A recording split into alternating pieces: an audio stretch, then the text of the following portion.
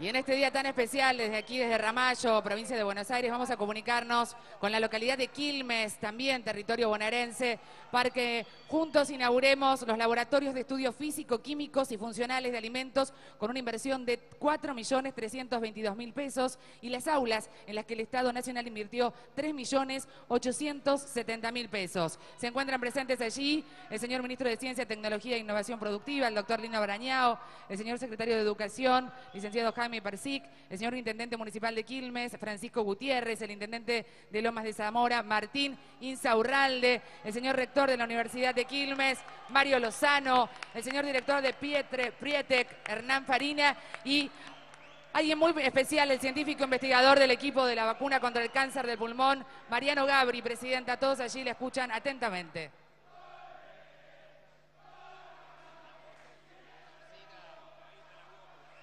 Hola.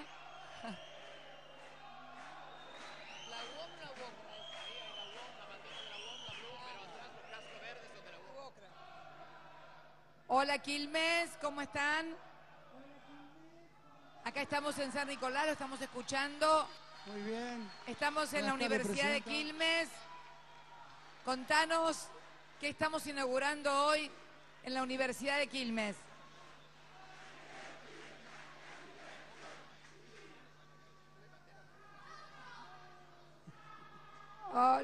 Hola, hola. Hola, Barba, ¿me escuchás?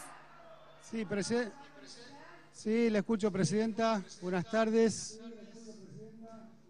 Bueno, te estábamos esperando que nos cuentes que estamos inaugurando ahí en la Universidad de Quilmes. Ah, perdón, no escuchaba. Pero primero, Presidenta, decirle que estamos muy contentos, muy alegre de poder comunicarnos con usted. La vemos muy bien, una cara realmente de mucha alegría. Queremos Martín Insaurral de acá, el compañero intendente de Lomas y mío.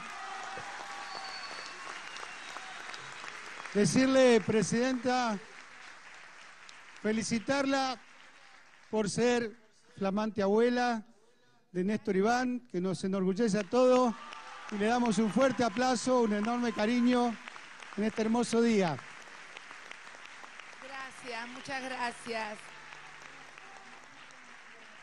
Al mismo tiempo, y aprovechando este minuto, Presidenta, saludar a toda la comitiva que está, al compañero gobernador, a todos los demás, también a Pablo Roca y a todo su grupo por esta importante inversión para el país que demuestra, así como Néstor hace, en 2007 creo que fue, inauguró el horno, hoy estamos haciendo crecer la industria y esta es una prueba más.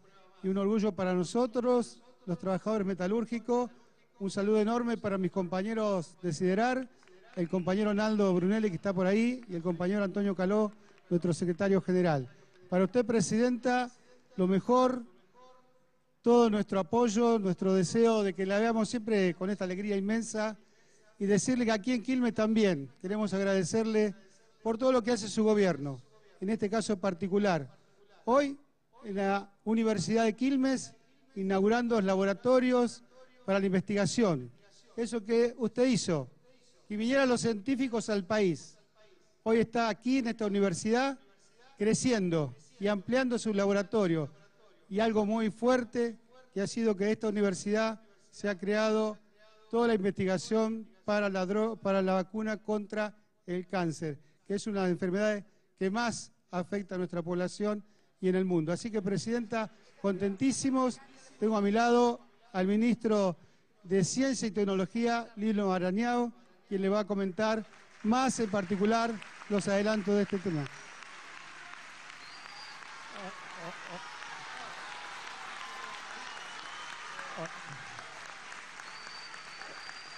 Buenas tardes, Cristina. Te explico brevemente que estos no son laboratorios de investigación comunes, sino que obedecen a esta política que se ha implementado durante esta década ganada de poner la investigación al servicio de soluciones concretas para la gente. Esto es parte de un programa que se llama Prietec, son laboratorios de transferencia tecnológica hacia la sociedad. Esto es uno de los 49 que estamos llevando adelante en todo el país, una inversión de casi 4 millones de pesos, 750 metros cuadrados, que va a permitir que esta universidad, que ya ha dado pruebas de una alta capacidad de innovación y desarrollos de punta, pueda transferirlos a la sociedad. En este caso ya tenemos un ejemplo concreto y me gustaría eh, darle la palabra a uno de los protagonistas, un investigador joven que es responsable del proyecto de la vacuna contra el cáncer para que brevemente explique la importancia que tiene esta infraestructura que estamos generando hoy. Le paso la palabra al doctor Gabri.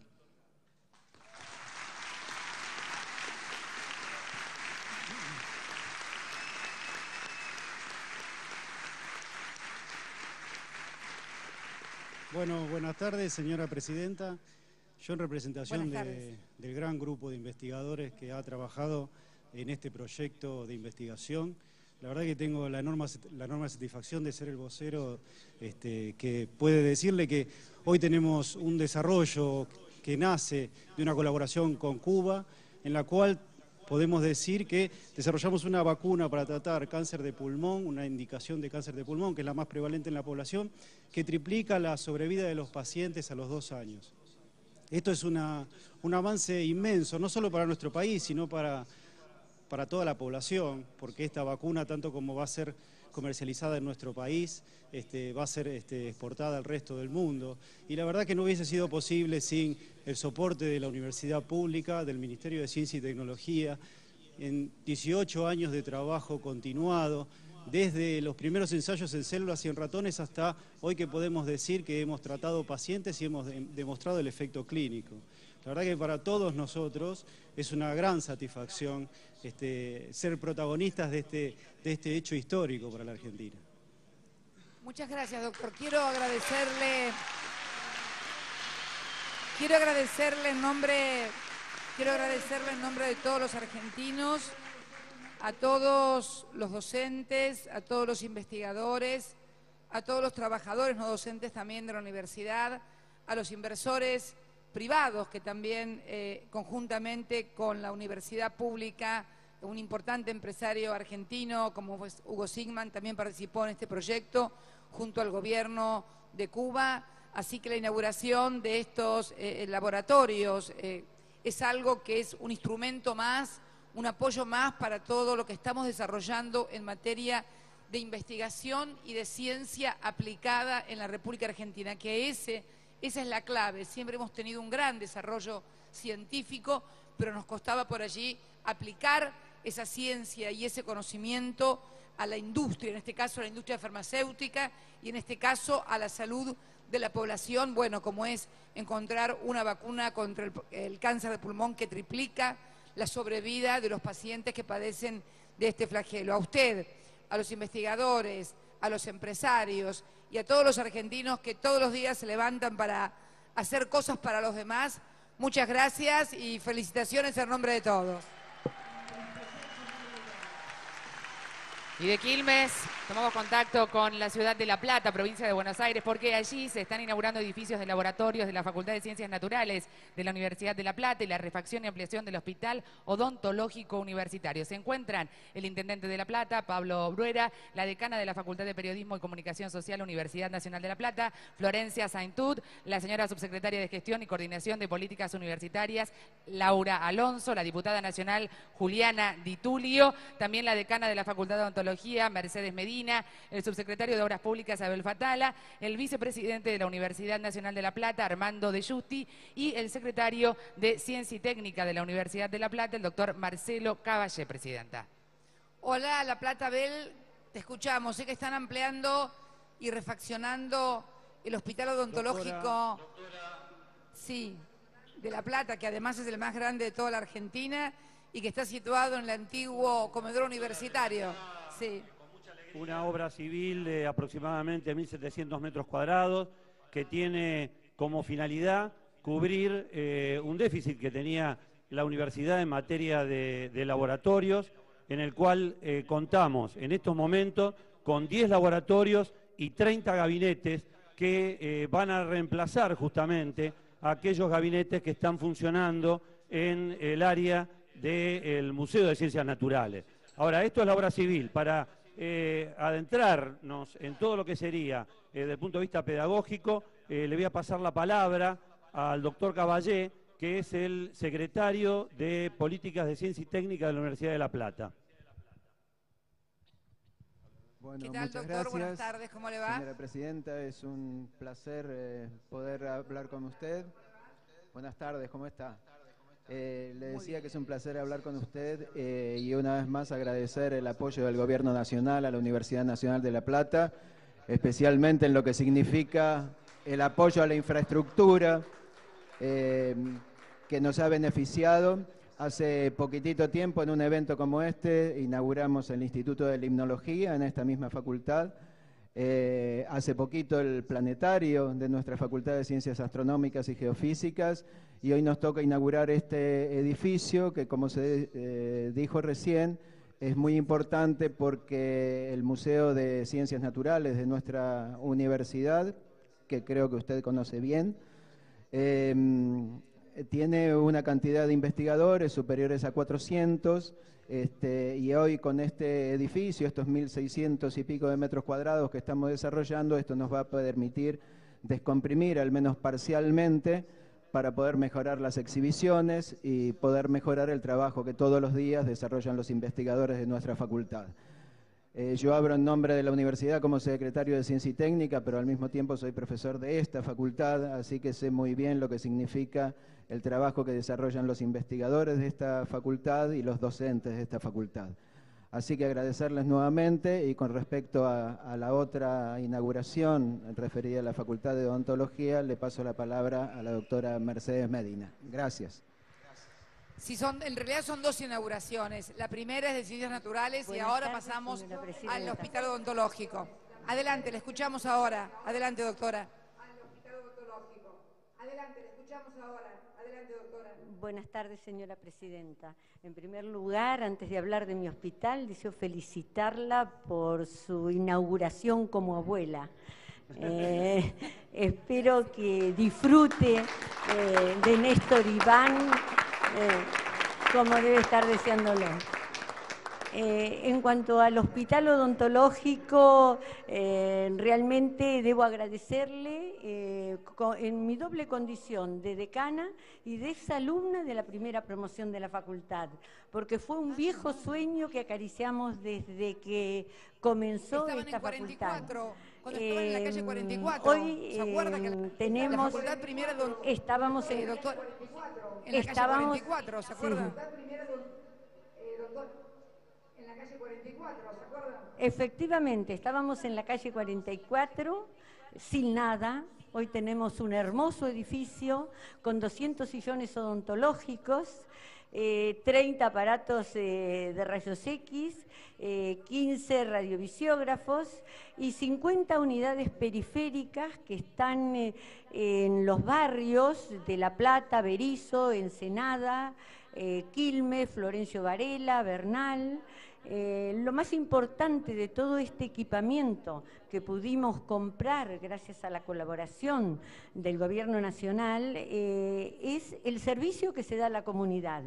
Estamos atendiendo 1.500 pacientes por día, eh, entre el nivel central, que es donde se ubicaron los nuevos consultorios, y los consultorios periféricos. Eh, también hacemos viajes al interior del país porque eh, el aporte económico que se nos hizo nos alcanzó para comprar un minibús en el que estamos viajando este mes a las provincias de Jujuy y Formosa. Eh, y en meses posteriores tenemos previsto hacerlo a La Rioja y Catamarca. Eh, también viajamos a Chaco eh, porque consideramos que los estudiantes necesitan conocer la realidad del país. manifestaciones de ellos nos dicen que tienen un antes y un después en su vida y para nosotros es muy importante porque lo buscábamos curricularmente ese cambio. Eh, nosotros eh, pretendimos cambiar el perfil del egresado, eh, que era biologista e individualista, para trabajar en un consultorio, por un perfil social y participativo, donde su objeto de estudio no fuera el individuo, sino la comunidad. Por lo tanto, estamos muy agradecidos por haber cumplido nuestro sueño y por poder formar un profesional que creo que es el que el país necesita. Muchas gracias, doctora. Muchas gracias, La Plata. Maravilloso, gracias. Y ahora vamos a la ciudad de Buenos Aires, donde está el Consejo interuniversitario nacional. Bueno, ahí estamos firmando convenios importantes. Vamos a Martín, ¿estás Martín? Martín Gil, a ver, este, es Martín, ¿no? Martín Gil. Sí, a ver, te escuchamos. Sí, señora. Este, eh, no, Silioni, ay Silioni, estoy media ciega ya. Te conocí por la voz, te veo a Filmus, ahora sí. Acérquenme un poco la cámara, ayúdenme muchachos. Ahí lo veo al ministro de Educación, a Martín Gil, el secretario de... No, bueno, no tan cerca. Querido, por Dios. No, ya casi obscena eh, acercarse. Dale. Martín Gil, ¿Cómo anda, secretario de? Políticas Universitarias, Daniel Filmus, ex ministro de Educación y nuestro actual ministro de Educación, Alberto Silioni. Contanos, hoy estamos firmando dos importantes convenios que estamos llevando a cabo. Uno, bueno, contanos vos, dale. Sí, muy breve. Lo primero también, Presidenta, un, un abrazo de todos por, por esa familia que, que se agrandó. Eh, siempre me acuerdo de un poema que terminaba diciendo que la vida jamás se declara vencida. Así que ahí está la vida y, y la acompañamos y la felicitamos a usted, a toda su familia. Está el embajador de Alemania, está quien va a ser nuestro próximo embajador argentino en Alemania. Y es un triple propósito, Presidenta. Primero, ese es, esas cinco nuevas carreras del Centro Universitario Argentino Alemán. Alemania tiene centros universitarios con dos países, con Francia y con la Argentina. Eh, habrá que tener como antecedente aquel viaje de, Néstor Kirchner en el 2005 al Instituto Max Planck y después también un gesto de Alemania en torno al Bicentenario y, y- empezar esta relación que hoy fructifica, Presidenta. Un esfuerzo del Estado alemán, un esfuerzo del Estado argentino, un gran esfuerzo de los empresarios alemanes en la Argentina, que, que hay que reconocerlo, que también ellos son parte integrante de esta tarea. Todas carreras de maestría y de posgrados, eh, todas carreras, por supuesto, aprobadas por la CONEAU. El segundo tema, Presidenta, que también es muy importante. Nosotros tenemos una red de editoriales universitarias, 41 editoriales universitarias que hacen aproximadamente o, elaboran por año más allá de 1.200 títulos todos los años. Lo que estamos haciendo es un convenio, vamos a tener una librería y un centro cultural de esas 41 universidades. Esto es muy importante, sobre todo para las universidades del interior, para la presencia de las universidades del interior aquí en la ciudad de Buenos Aires. El 90% del mercado es de la ciudad de Buenos Aires, entonces también otro, otra faceta de, la potencia del sistema universitario, en este caso a través de, las ediciones, de trabajos para alumnos, de trabajos de investigación, y vamos a trabajar, Presidenta, con ellos en la construcción de libros de texto para nuestros alumnos de la secundaria. Y el tercer elemento también destacable, Presidenta, eh, el Instituto de Biología Molecular de la Universidad de Rosario, hay un subsidio de 5 millones de pesos para ese instituto, para la radicación de un espectómetro de resonancia magnética. Yo podría hablar horas de los espectómetros de resonancia magnética, Presidenta, pero quizás este, con, al- con más propiedad Claudio Fernández, que es un científico re- repatriado, alguien que usted se va a acordar, porque cuando llegó le dio la foto de su familia, por ahí él también puede ampliar hijitos. en este caso. de sus dos hijitos, de su hija y de su hijo, que todavía las tengo. Cuando fui a Rosario, ¿cómo estás? Muy bien, Presidenta. Muchas gracias por, por- esta nueva posibilidad de consolidar nuestros proyectos en, la ciudad de Rosario. Que- Quería, quería manifestarle que, un poco como digo en mis conferencias, por mi experiencia de vida, eh, un poco por el estrato social del cual provengo y por mi edad, eh, puedo reflejar un poquito eh, todo lo malo que le pasa a un país cuando no hay política de Estado en ciertas áreas y todo lo bueno que le pasa a esa patria cuando hay una política de Estado que promueve la actividad, en este caso particular de los científicos.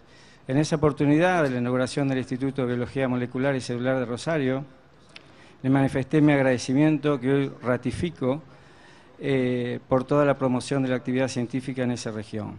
Hoy, casi dos años después, algo cambiado nuevamente y para positivo en la ciudad de Rosario, más allá de nuevos institutos de CONICET que se han inaugurado. Hoy Rosario cuenta con el segundo enclave importante de la sociedad Max Planck en Latinoamérica, uno en Buenos Aires y otro en Rosario, que se eh, inaugurará durante el mes de julio. Hoy Rosario cuenta con la primera plataforma tecnológica de diseño y descubrimiento de fármacos, que es eh, eh, importante para consolidar el proceso de independencia y soberanía económica, no en la Argentina, sino en la región latinoamericana, porque, Presidenta, necesitamos que Latinoamérica desarrolle sus medicamentos innovadores y que descubra sus propios fármacos, para, para no quedar en una situación eh, de, alguna manera de desventaja farmacológica o de discriminación farmacológica dentro de unos años. Eh, hoy Rosario tiene un doctorado internacional con la Universidad de Göttingen a través de la Universidad Nacional de Rosario. La Universidad de Göttingen, como le expresé, es una universidad que tiene 45 premios Nobel asociados, lo que marca la calidad y la excelencia académica y científica de las actividades que se están realizando en Rosario y en todo el país, pero permítame enfatizar porque esta política de Estado en esta área está permitiendo además la descentralización de la ciencia y que proyectos estratégicos para el país y la región latinoamericana se realicen, se desarrollen también en centros alejados de la ciudad de Buenos Aires. Pero muy mal haría yo si me quedara solamente eh, en, la discusión de mi quehacer científico, porque yo he sido capacitado en una universidad pública y he sido capacitado excelentemente para tener éxito en los procesos eh, eh, científicos que desarrollo habiendo una política de Estado. El científico es también un trabajador. El científico es también un ser humano y como todo ser humano necesita de su familia, de su contención familiar para tener éxito en su actividad. Eh, gracias a esta política de Estado puedo decir que mis dos chiquitos están creciendo en su patria. Iván, que nació en Alemania, está creciendo en su patria. Mi familia está radicada eh, en su patria desde de donde nunca había, eh, habría de, haberse ido. Por eso quiero agradecerle eh, muchísimo a la gestión anterior y a su gestión, eh, porque todo esto que pasa es por la existencia de una política de Estado. Los científicos sin política de Estado no somos, no, no podemos hacer esto. Y por otra parte, es una política de Estado integral, porque hace el quehacer científico pero también ha permitido la vuelta, en este caso particular, de mi familia. Muchas gracias, Presidente. Gracias, Claudio. Muchas gracias.